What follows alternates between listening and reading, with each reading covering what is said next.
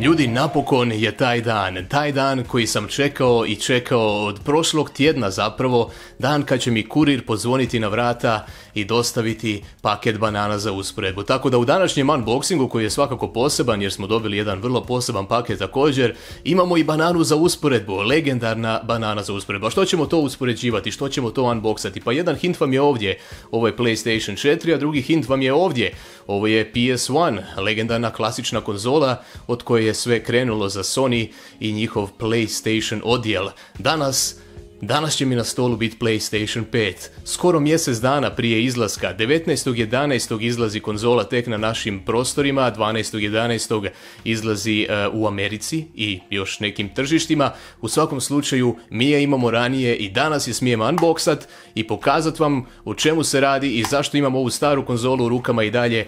Idemo po PlayStation 5. Uh, ok, pogledajte vi kolika je ovo kutija. U usporedbi s bananom vidi se da je velika, zato je banana tu, ispunila je svoju svrhu, pa ajmo ju poleć dole i, uh, i otvorit to. I stvarno, nisam je do sad otvorio, uh, odolio sam iskušenju, nisam je spajao, nisam ništa do sada, čekao sam da imam vremena spojiti kameru i snimit vam ovaj unboxing, evo dokaza. Vidite ovo, ovo nije ni pipnuto. To ćemo sad po prvi put razrezat, pustit vakum van, jer cijela stvar je još pod vakumom, ko što se kaže na oglasnicima, i pokazat vam što sve dolazi unutra. Šta ovdje piše? Play like never before. I naravno, hraj jako, nigdi pred tim, što naravno u prijevodu sa, ja mislim, mađarskog znači igra jako, a di ti se žuri? Ni, ni, ni, di ti se žuri, a?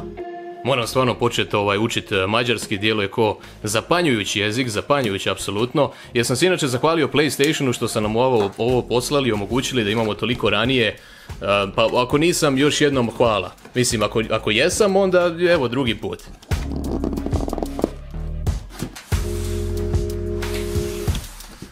Opet su izveli onu foru gdje je ovo samo vanjski sloj kutije, a unutra je obična bijela kutija. E, na tom vanjskom sloju nema ničega posebnog osim što ovdje piše 8K, što zvuči zanimljivo, ali da, PlayStation 5 će zapravo podržavati 8K rezoluciju. To ne znači da će se igre vrtjeti u 8K rezoluciji, to bi bilo čak suludo za očekivati, ali tehnički će podržavati output u 8K, kao i 4K pri 120 fps i HDR. Ali dobro, dosta ovoga, idemo u pravu kutiju.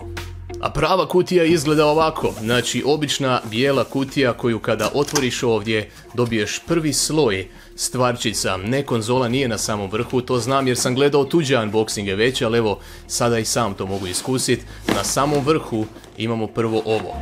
Malo obavezne papirologije i DualSense controller. Idem ga po prvi put ikada malo pipnut i opisat vam kakav je feeling. O, vidi ga, vidi ga, ovo je stvarno prvi put da imam ikakav doticaj s ovim kontrolerom i mogu vam reći da je ovo, ovo definitivno djeluje malo kvalitetnije izrađeno od starog DualShocka 4 za PlayStation 4. Ovo je DualSense naravno i nije bez veze dobio novo ime, dakle nije DualShock 5 u pitanju nego DualSense potpuno novo ime. Ima dosta zanimljivu tehnologiju ispod ove fino teksturirane bijele boje kojom je dizajniran pa ostavlja taj, kako ljudi kažu, Stormtrooper-like feeling, crno na bijelo i sve te fore.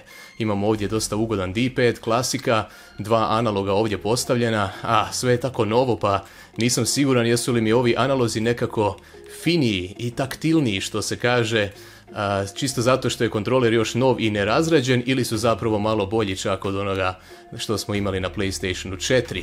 I evo ga, DualShock 4 i DualSense za PlayStation 5, jedan pokraj drugoga, kao što vidite, DualSense je nešto malo veći, ali nije to neka golema razlika, osim toga djeluje dosta konkretnije u ruci, ima nešto veću masu i nešto bolji balans, ja bih rekao, djeluje kod da je ovdje većina njegove mase, pa tako nekako prirodno vam pada na ove prste ako držite tako kontroler. E, ovi triggeri će biti nešto posebno, o, ovome se jako veselim, jedva čekam svoju konzolu da probam te triggere jer e, neki su počeli već ih opisivati i djeluje kao jako zanimljiva tehnologija. O čemu se radi? Zovu se adaptivni triggeri i tu ispod e, kućišta ovog kontrolera je poseban motor, s druge strane također, koji vam zapravo malo pruža otpor oko tih triggera, ovisno o tome kako su developeri isprogramirali igru u kojoj se ta tehnologija koristi, tako da teoretski svaka puška u nekakvoj pucačini bi mogla imati malo drugačiji osjećaj pritiska okidača, na primjer. Osim toga, DualSense nosi to ime koje insinuira nekakve osjećaje, upravo zato što ovdje ima ispod, dakle, ispod kućišta ima nekakve posebne motore vibracione koji nisu nimalo nalik ovima. Ovdje su to bili samo mali vibracioni motorići koji imaju uteg na vrhu i onda malo se vrte i vama pružaju nekakvo treskanje i to je bilo u redu sve do sada. Sada imamo potpuno drugačiju tehnologiju koja bi to trebala dovesti na višu razinu. Trebali biste baš osjećati kada vaš lik hoda po drvenoj površini, kada hoda po metalnoj površini, malo drugačije udarce i malo drugačije osjećaje, što bi trebalo uz te adaptivne trigere gore stvarno pružiti jedan onako malo drugačiji osjećaj igranja s ovakvim kontrolerom. S donje strane nema ničega, nema nekih posebnih tipki, Imamo ovaj crni dio ovako od ispod, možda, možda ga iz ovog kuta još niste vidjeli pa rekao da iskoristim priliku i to vam posnimim isto, no zanimljivo mi je da ova plastika je glatka, dok je ova iza fino, fino teksturirana tako da pruže jednu finu teksturu dok ga držite, baš je onako ugodna e, jer upravo tu vam leži ruka i, i tu ga držite, ali pazite ovo, e, neću vam moći to pokazati na kameri, ja mislim, malo je izazov to snimiti, ali vidite ta tekstura kojom je cijela ova plastika ovdje obložena nekako je zapravo PlayStation ikonografija. Mali iksići, mali kvadrati, mali trokuti, mali krugovi. Ovuda su prošarani, iznimno sićušni i to mi je, to mi je jako fora detalj. Ove legendarne PlayStation tipke X krug, kvadrat i trokut više nisu obojane svaka u svoju boju, sad se ide na taj neki malo jednostavniji, više minimalistički look čini se. D-pad je više manje klasičan, vidite ga tu u usporedbi, nešto malo drugačiji oblik ovih D-pad tipki, ali Ovako na prvu sve to djeluje poprilično dobro, mogu vam reći.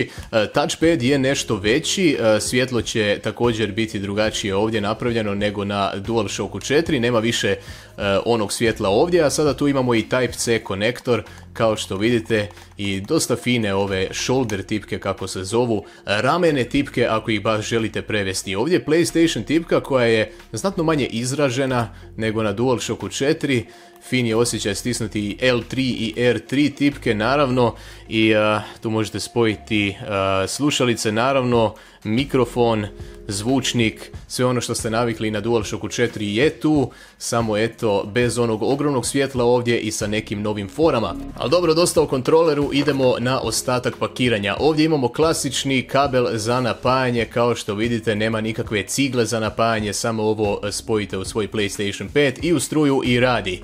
Imamo tu i nešto obavezne papirologije. I lijepo je vidjeti da imamo na hrvatskom opet upute o sigurnosti. Ajde da vidim čega tu ima, da me, da me znaš, struja ne strese slučajno. Našao sam stranicu u kojoj su sve specifikacije PlayStation 5 i pazite ovo, 4,5 kg. Ovo je stvarno monstruozna konzola i veličinom, a i masom.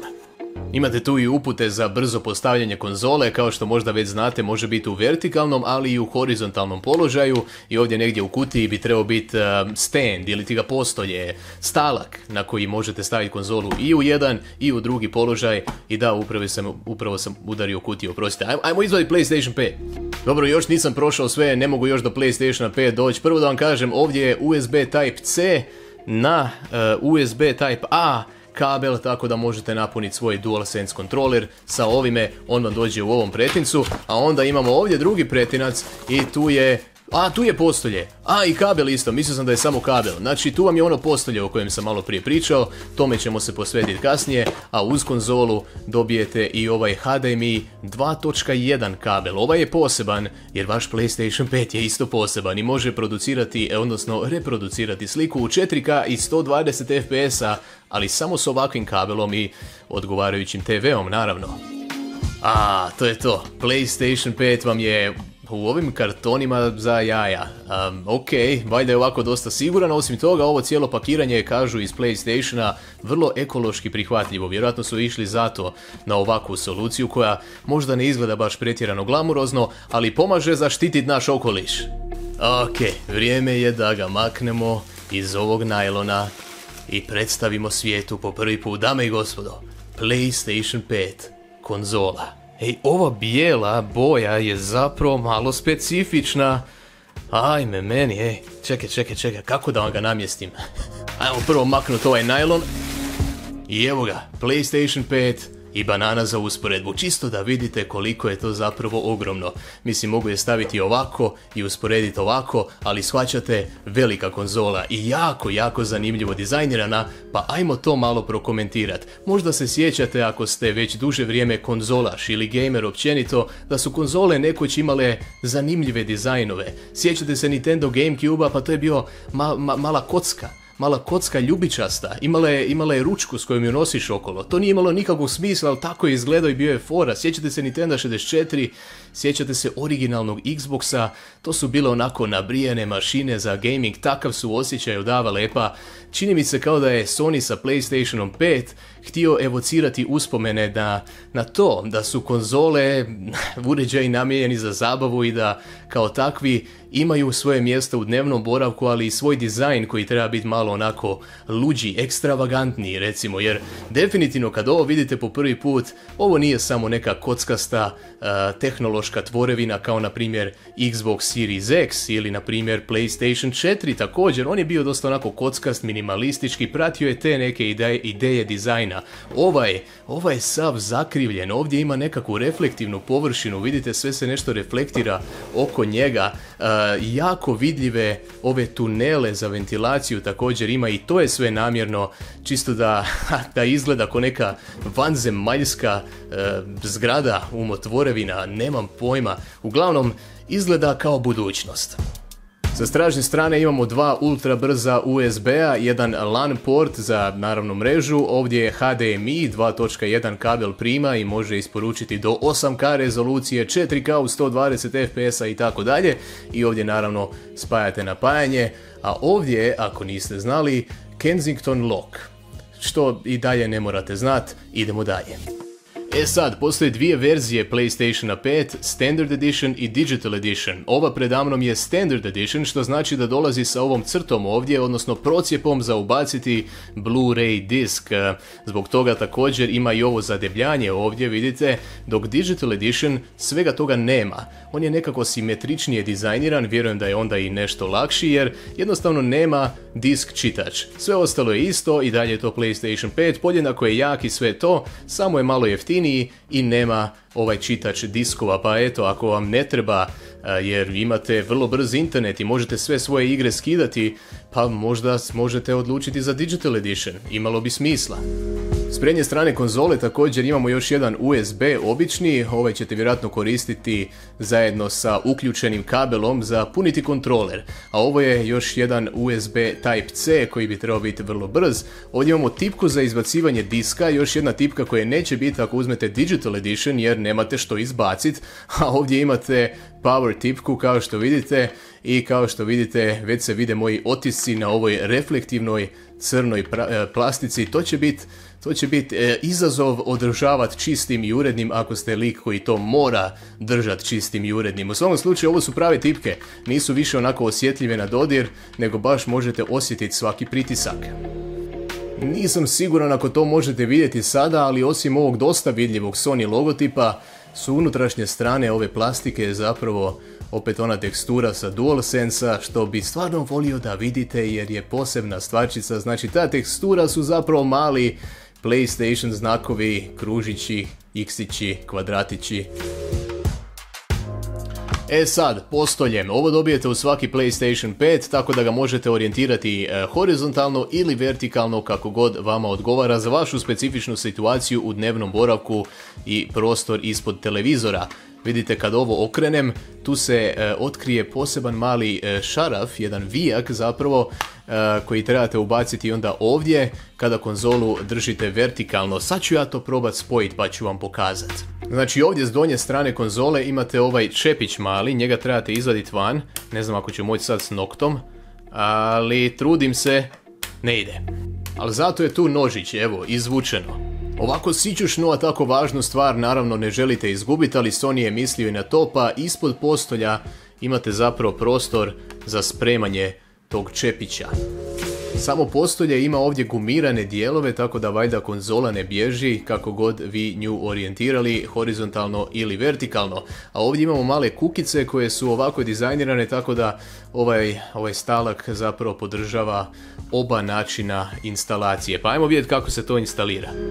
Znači, ako želite montirati konzolu vertikalno, uzmete postolje i orijentirate ga ovako, tako da su ove kukice uh, u ravnini zajedno sa ovim procijepom ovdje, onda stavite to ovako naopako, ulovite na stražnju stranu konzole i tu bi se ova točkica trebala savršeno poravnati sa rupom na samoj konzoli, onda to zatvorite i posao riješen. I ovako vam to izgleda sa stražnje strane kada se ta kukica od postolja ulovi za ove male a nazovimo ih radijatorima od ventilacije za taj grill, jeli? I sad samo postaviš konzolu ovako i imaš je u vertikalnom položaju zajedno sa rupama za ventilaciju koje sada mogu disati jer je konzola malo odignuta od poda. Tako da, iako je možete vertikalno postaviti i bez ovoga, definitivno bi bilo preporučljivo koristiti postolje. Ako je želite ipak u horizontalnom položaju, samo vratite vijak ovdje da ga ne izgubite, zarotirajte sve ovo u ovaj drugi položaj, ovo je znači položaj za horizontalno postavljanje konzole i nemojte zaboraviti na ovaj čepić koji sada možete vratiti fino gdje mu je mjesto. Ako konzolu samo ovako polegnete na horizontalni položaj, Upravo zato što je tako krivudavo dizajnirana, ona će samo ovako talasati, da tako kažem, na stolu. Ali, ako je stavite na taj stand, e, to je druga priča. Ovdje je još jedan zanimljiv detalj, vidite još malo PlayStation ikonografije i to je zapravo način da vam Sony kaže, ej, ovdje trebaš staviti ovaj stand, ovdje ga trebaš zakačiti ako želiš konzolu u horizontalnom položaju i onda to sve ima smisla. I vidite, sad više nije talasava. Čudan izraz, ali shvaćamo se, razumijemo se, to je važno. I za kraj bilo bi samo prikladno da odradimo jednu usporedbu veličine. Ovo je dobri stari PlayStation 4 Pro, a ovo je nova Playka 5. I kao što vidite dosta više konzola, ne baš toliko široka, dakle PlayStation 4 Pro je malo širi, ali ova je svakako još i deblja. Doduše samo na ovom dijelu je deblja, dok je ovdje pak uža. Mislim, neobičan dizajn, što da vam kažem, ali u svakom slučaju jedan veliki dečko je ovaj PlayStation 5. Jedva ga čekam spojiti, upaliti i pokazati vam više, tako da nastavite nas pratiti, evo i banane za usporedbu za kraj, čisto kad već radimo usporedbe, ne smije ona biti izostavljena. Nastavite pratiti HCL HR, preplatite se na kanal ako još niste, ako vas zanima PlayStation 5 i ostale next gen konzole, dakle Xbox Series X i S, jer to su jedine druge dvije. Uh, u svakom slučaju o svemu tome ćemo pisati, raditi videe, pričati i tako dalje. Sad kad imamo PlayStation 5, svakako ćemo pričati još o DualSense kontroleru, uh, pokazat ću vam nešto gameplaya ovih dana, Ne smijem vam sve odmah pokazati, ali bit će svega, nastavite nas pratiti. Hvala što ste gledali ovaj video, udarite like, preplatite se, vidimo se, čao!